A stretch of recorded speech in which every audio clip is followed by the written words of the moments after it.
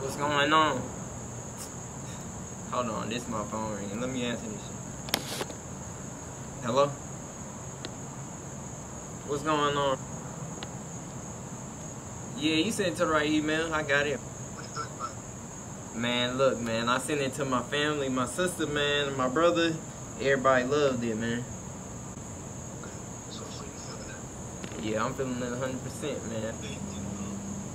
Uh, well, I'm shooting today, and uh, I'm off tomorrow too. So if you want to shoot tomorrow, we can. What's going on? It's your boy Nice, a nice HVAC. I'm gonna teach you how to get six figures, and why why not? You should go to HVAC school. Stay tuned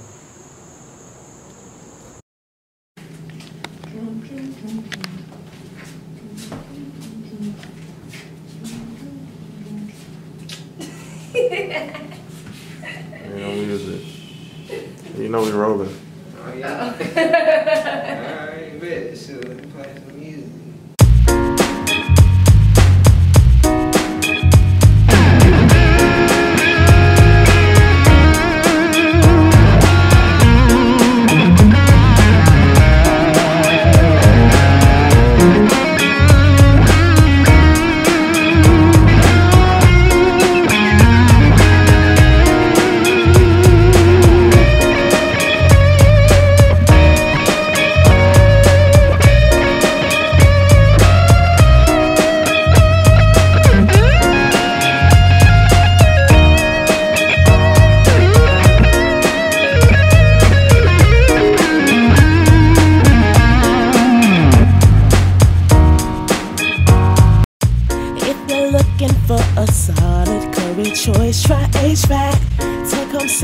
Figures a year, yeah, that's the perfect paycheck. We can teach you how to earn your worth with this career track. Come and visit, we'll be here and ready to help. Nice age HVAC, nice age HVAC, nice age HVAC. We've got your back. Alright, so look, I'm gonna tell you. I started off just like you. I didn't know what I was gonna do. I know I needed to go to school. I know I needed to get into some type of university, associate's program, something, man. So what I did was I said, hey, let me get into the trades. So I found the trade school. What I did was I went on Google. I typed in uh, HVAC trade school near me. I looked it up. I did the research. I found out how much it costs to get in, what my grades needed to be. Did I need to take the SAT, ACT, whatever I needed to do? I did it. You know what I'm saying? So fast forward a little bit. I get into school. You know, school is school is a good experience. Some people take advantage of it. Some people don't take advantage of it.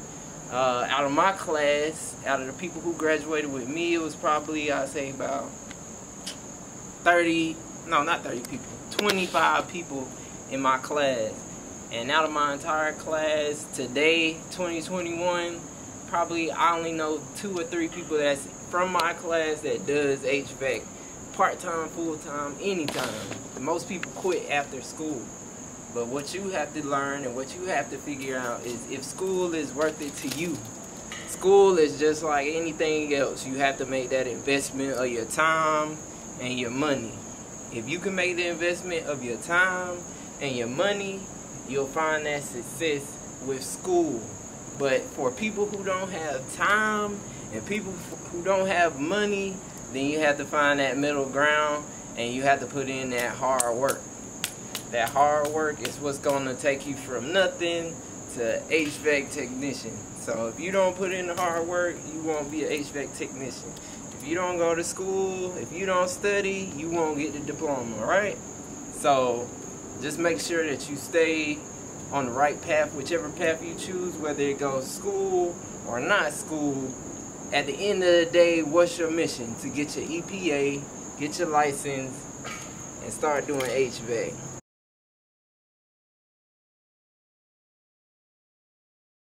Alright, bet y'all, we had to switch it up, man. I'm, I'm keeping it all the way 100 with y'all because I want y'all to watch me from day one, the growth. See, I ain't changed. I'm still the same dude from Clayco. I'm the same dude from Georgia. I'm the same dude from the Navy. I'm the same dude who do HVAC. Nothing has changed. So pretty much what I was getting at was you got two choices. You can go on the job. Matter of fact, let me explain on the job. On the job would pretty much mean that instead of you going to school, you would use your services at a business first as opposed to going to school. You would take your hands-on training and go out here and make money from day one as an apprentice. So you would start off as an apprenticeship, you would do on-the-job training, and you would learn hands-on from a licensed HVAC technician or someone who has been in the industry for over 10 plus years. Nice HVAC, we dedicate our time, I dedicate my life to making sure that you guys learn everything that you need to know to pass your license. Alright, so yeah, when I went to school, I was looking at different schools. I was trying to see what what school fit me best, like Tuesdays and Thursday classes, Monday, Wednesday, Friday, night classes, morning classes. You know, you have to make your schedule and you still have to work if you go to school now, unless you're a veteran and you get paid to go to school, I'll talk about that later in another video. I'll let, I got a special package for my veterans.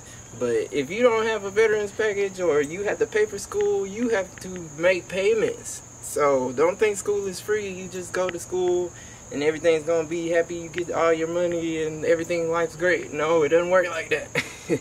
go to school, do your homework, stay in class, make sure you learn, take advantage of it. If you're paying for it, learn. You know what I'm saying? Most people don't want to learn. You got to put in that work, learn it.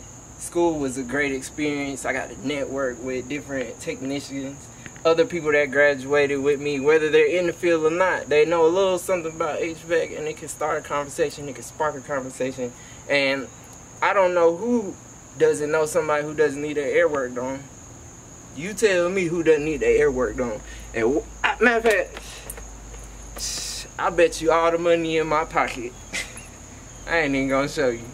I bet you all the money in my pocket that one day your air is gonna need some fixing. I can guarantee that unless you moving from new house to new condo to new to new uh, villa in Mexico, hey, I can't. I, I'm, I'm gonna be honest. You gonna need that air fix. And hey, you can call your people at Nice HVAC. We're gonna take care of you.